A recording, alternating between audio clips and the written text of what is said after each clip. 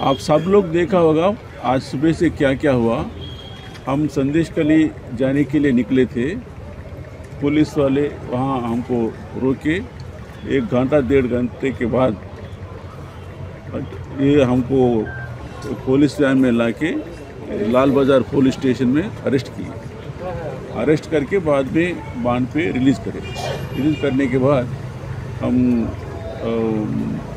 Honourable governor से appointment मांगे। अभी आए थे गवर्नर जी।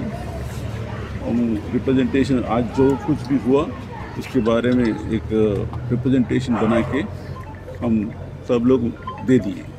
गवर्नर साहब को ले लिए। And he assured that necessary action will be taken up on that. National women's commission national SC commission ये लोग दावा किया है कि स्टेट में राष्ट्रपति शासन होना चाहिए प्रेसिडेंट रूल होना चाहिए। आप लोगों का क्या राय है? क्या दबा है? हमारा भी वही राय है लेकिन माननीय राज्यपाल जी एक डिसीज़न लेने का है उसके ऊपर। लॉ एंड ऑर्डर पूरा एसेस करने के बाद। It is a clear case of failure of law and order in the state constitutional of India? ये जाने के बाद पूरा रिपोर्ट बनेगा ना। वो report we will give it to honourable president of India home ministry यहाँ भी गवर्नर देंगे चीफ मिनिस्टर भी लेने के लिए तैयार है तो उनको भी दे देंगे।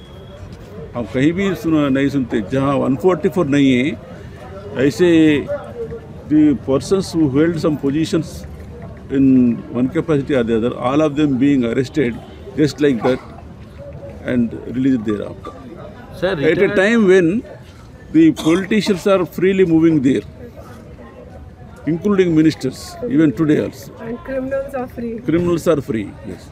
Governor साहब ने क्या बताया ये सब बताने का उनसे जवाब नहीं मांग सकते ना आश्वासन दिया है उन्होंने आश्वासन दिया सर आज जो आप आप लोगों के साथ जो हादसा हुआ सुबह हाँ? से आप लोगों के साथ जो हादसा हुआ आप जा नहीं पाए गलत तरीके से रोका गया गिरफ़्तार किया ये पूरा चर्चा के लिए क्या आप लोग बोलेंगे क्या होता है? आपको मालूम है ना?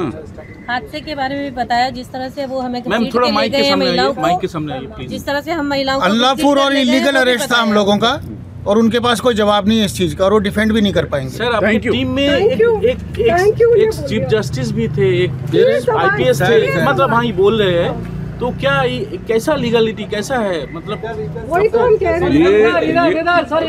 आप ये आप देखिए you forget about that I am the former chief justice former I ये पूरा एक नागरिक के रूप में हम जा नहीं सकते। एक नागरिक के रूप में वो जहाँ 144 नहीं है, वहाँ भी जा नहीं सकता है तो बोलो तो इससे क्या बोलते हैं उसको अनफॉर्चुनेट सिचुएशन कहीं भी नहीं होता।